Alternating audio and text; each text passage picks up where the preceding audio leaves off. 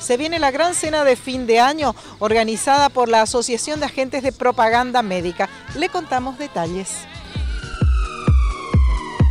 Sí, el día 12, el día 12 en el Hotel Guaraní, en el Salón Dorado, vamos a festejar la fiesta de fin de año con todos los colegas.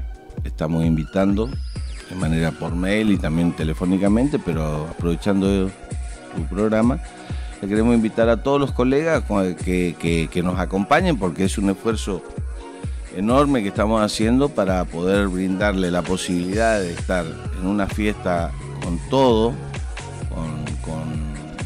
solamente ellos tienen que poner la predisposición a ir a divertirse eh, y es totalmente sin cargo para el afiliado y para el acompañante.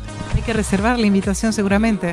Sí, eh, nosotros le pedimos eso porque por una cuestión de, organización, este, que nos avisen si, van a ir. Creemos que tienen que ir todos porque es la, fiesta de fin de año donde eh, queremos compartir después del año difícil que tuvimos y queremos que estén, queremos que vayan, queremos que se diviertan, queremos que disfruten, queremos que sea una fiesta, porque para nosotros es una fiesta única, porque es totalmente sin costo para todos, no, no, no, no jamás se hizo en, el sindicato, jamás se ha podido lograr esto que nosotros lo estamos haciendo, así que para, para, para el sindicato, para la comisión directiva, para mis compañeros sería muy importante el acompañamiento de todos. En esas fechas eh, previas y posteriores hay actos de colación. Sí, eh, también tenemos, eh, gracias a Dios, este, en el Jardín Los Valijitas tenemos el día 11, el día antes, a las 20 horas, tenemos el acto de, fin de año.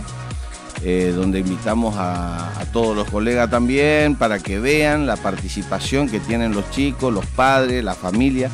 Nosotros, para nosotros es muy importante porque hemos empezado con un solo chico terminamos con 6, hoy tenemos más de 30, casi 40 chicos en los distintos niveles. El año que viene empieza la primaria, o sea, es eh, una idea que se fue formando, es un proyecto que se fue realizando y hoy estamos avanzando de manera bastante segura y estamos muy felices de la manera como lo vamos llevando. No es el único acto de colación.